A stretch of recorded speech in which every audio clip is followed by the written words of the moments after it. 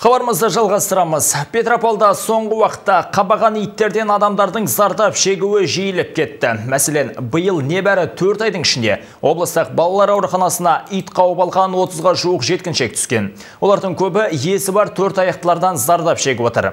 Әріптесім Ермежанова тарқатып айтсын. Бұрын бабаларымыз итті жеті қазынаның біріне санап, ең сенімді серігіне балаған. Бүгіндері далада ит көрсек, үрейлене қорқынышпен қарайтын болдық. Сол себепті төрт аяқтылардың адамдарға атылуы жиілеп кетті. Соңғы кезде балалар мен үлкендерді қапқан иттердің көбінің иесі бар, яғни кәдімгі үй иттері.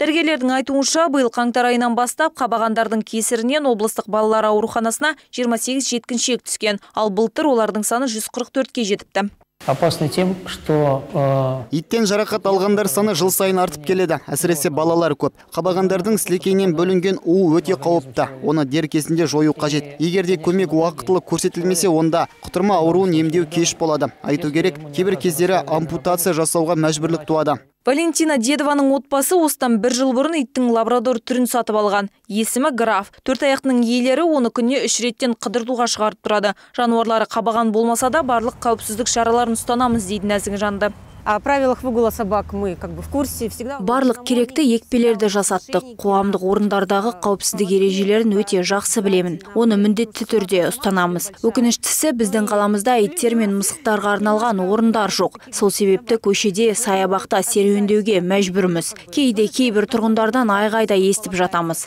Олар қоғамдық жерлерде иттің қыдыруына қарсы.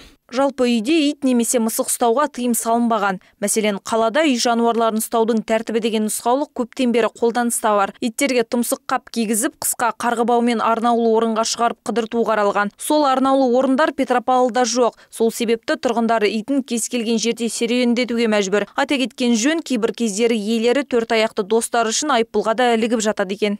Соответственно, статьей 408 кодекс. Қазақстан Республикасы әкімшілік құқық бұзушылық туралы кодексінің 408 бабында иттер мен мысықтарды қыдырту ережелері бекітілген. Біз сол заңға сай жұмыс жасаймыз. Алдын алу шараларын ұйымдастырып тұрамыз. Белгіленбеген жерде үй жануарларын қыдыртса, иелеріне 3 айлық есептік көрсеткіш, ал адамдарды қапқан иттердің иелеріне 10 айлық есептік көрсеткіш көлемінде айыппұл салынады. Ағымдағы жылы жергілікті полиция қызметінің мамандары ит пен мысық ұстайтындарға қатысты заң талаптарының орындалмауы бойынша 2000-ға жуық фактіні анықтаған. Салынған айыппұл көлемі 450 мың теңгеден асады. Айгер Мержанова, Тимур Рахматуллин, Михаил Казначеев, муниципалдық телеарна.